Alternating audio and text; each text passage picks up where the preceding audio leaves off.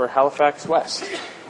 Thank you very much, Mr. Speaker. I rise today to present a petition on behalf of over a thousand Nova Scotians who are concerned about the situation of Mr. Philip Halliday, a Canadian citizen who's been incarcerated in a Spanish prison since December uh, 21st, 2009, uh, over 18 months without a trial date set. And these uh, petitioners call upon the House of Commons to defend the rights of Philip Mason Halliday and take action to intervene on his behalf with the Spanish authorities. They call upon the Government of Canada to use diplomatic channels to ensure Mr. Halliday receives a fair and speedy trial or an immediate release based upon the length of his detention with no trial date and his continued deteriorating health issues.